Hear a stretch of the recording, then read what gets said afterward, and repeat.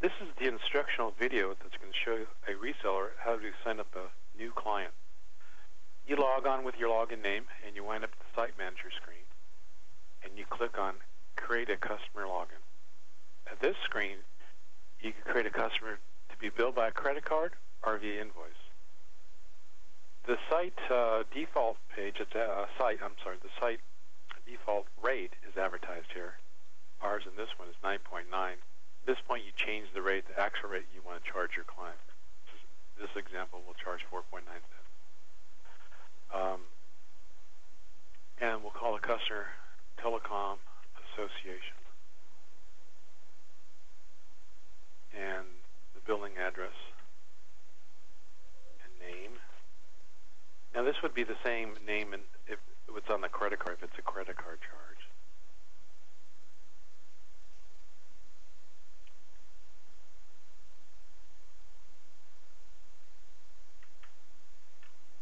And of course I'm filling out dummy information here. What is the uh, bill round date? Is it uh, do it once per month at the end of the month automatically if they give you a credit card? Credit card processing happens twice a day. And so we never get restri- uh, extended out on a bad credit card. And our system automatically will send email to the client if the car is expired.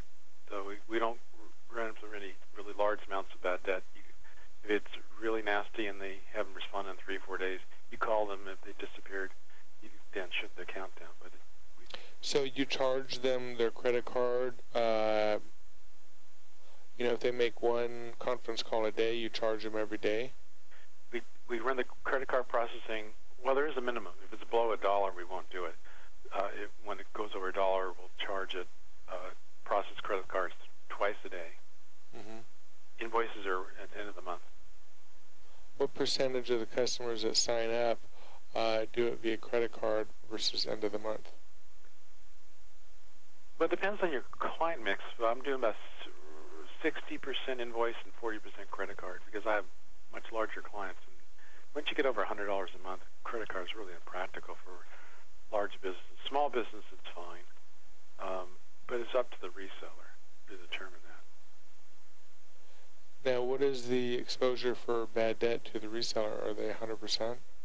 Well, they are 100%. That's why we bill so often, and we get emails sent to, you know, this person's not paying. Uh, so far, we've never had any bad debt because um, we, we slow down uh, the process of, it's not an automatic sign-up. So only the reseller can do this. So for this person, they fill out a, uh, a form, but they don't, don't automatically make an account. So you verify address versus phone number versus IP address, uh, things that make sense. You know, it doesn't take long to verify that the person's for real. The phone phone number matches the address, Mm-hmm. IP address, things like that. And um,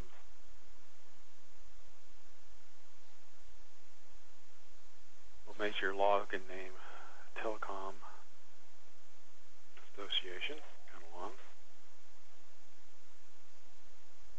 and a password. So what we want to do, because we're offering a free demo for broad uh, for web conferencing, is write this down, and you want to either do this online with the client in real time, or uh, do it offline and treat them later. We're, uh, since you don't have a valid credit card, we're just going to put an I in here. See right here, I'll highlight that. Enter the letter I if they should be invoiced. So we're creating an invoiced account here, so we don't have to do anything else. Um, so if I've got to remember the name, I'm going to copy this, Control C, so I can log back on again. And click Join Now. And now uh, the account, Telecom Association, for Dan Baldwin, the, the user has been created.